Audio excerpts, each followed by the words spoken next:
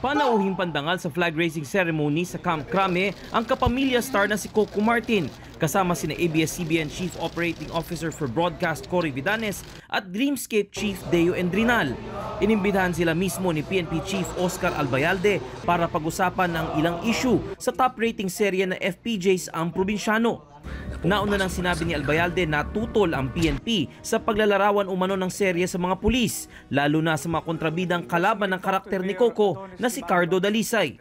Nilinaw ng ABS-CBN na katang-isip lamang ang serye at walang intensyong yurakan ng imahe ng pulisya. Para sa PNP, planchado na ang gusot sa pagitan nila at ng programa. Hindi naman tayo nang hingi sa kanila na totally baguhin yung ano nila.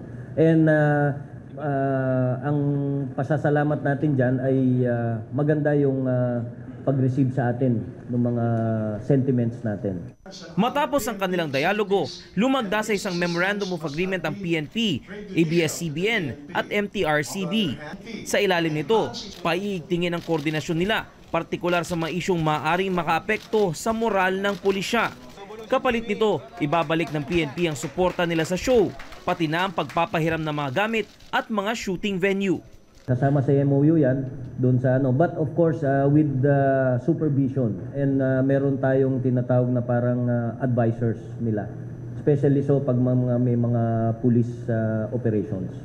Pinuna naman ng Commission on Human Rights ang tila pagiging balat sibuyas ng PNP sa issue. Dapat malayang mamamayan na magpahayag ng kanya-kanya mga pananaw sa iba-ibang mga paraan tulad ng uh, uh, pagsasadula sa, sa television.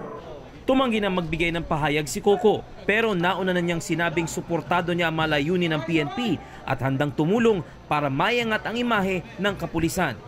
Rafi Santos, ABS-CBN News.